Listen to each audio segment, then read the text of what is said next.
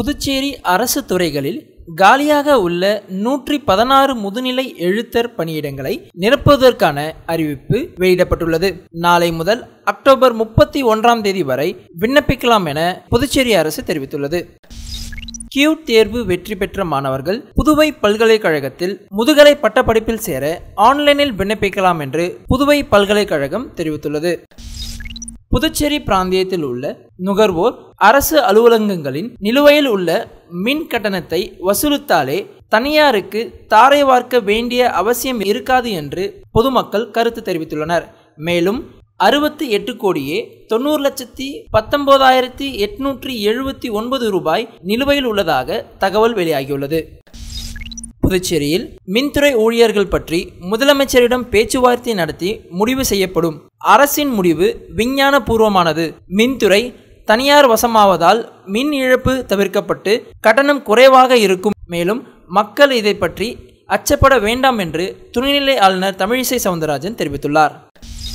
புதுச்சேரி பிராந்தியம் யானம் பகுதியில் சதுப்பு நிலக்காட்டில் போலீசார் ரோந்து பணியில் ஈடுபட்டிருந்தபோது அங்கு முப்பத்தி இரண்டு பிளாஸ்டிக் பேரல்களில் உள்ள ஆறாயிரத்தி நானூறு லிட்டர் கள்ளச்சாராயத்தை பறிமுதல் செய்து மேலும் அதை அழித்தனர்.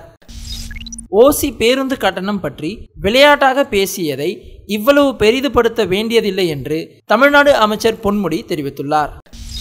குஜராத் மாநிலம் சூரத்தில் ரிசர்வ் பேங்க் என்பதற்கு பதிலாக ரிவர்ஸ் பேங்க் என அச்சடிக்கப்பட்ட ரூபாய் இருபத்தி ஐந்து புள்ளி எண்பது கோடி மதிப்புள்ள கள்ள நோட்டுகள் பறிமுதல் செய்யப்பட்டுள்ளது. ஆம்புலன்ஸ் மூலம் ஆறு பெட்டிகளில் கொண்டு செல்லப்பட்ட கள்ள நோட்டுகளை போலீசார் கைப்பற்றி விசாரணை நடத்தி வருகின்றனர்.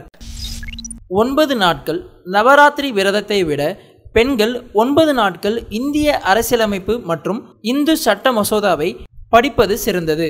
அவர்களின் வாழ்க்கை அடிமைத்தனம் மற்றும் பயத்திலிருந்து விடுபடும் என்று வாரணாசியில் உள்ள கல்லூரி நிர்வாகி மித்திலேஷ் கௌதம் இவ்வாறு கருத்து தெரிவித்ததற்கு பணியிடம் நீக்கம் செய்யப்பட்டார்.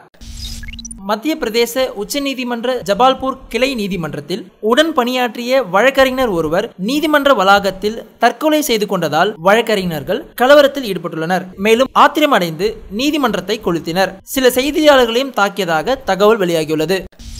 காங்கிரஸ் தலைவர் பதவிக்கு வேட்புமனு தாக்கல் செய்தார் மல்லிகா அர்ஜுனா கார்கே. நாடு முழுவதும் நானூறு ரயில் நிலையங்களில் நவராத்திரி விரதம் மேற்கொள்ளும் ரயில் பயணிகளுக்காக வெங்காயம் பூண்டு சேர்க்காத பிரத சாப்பாடு வழங்க ஏற்பாடு செய்யப்பட்டுள்ளதாக ஐஆர்சிடிசி தெரிவித்துள்ளது.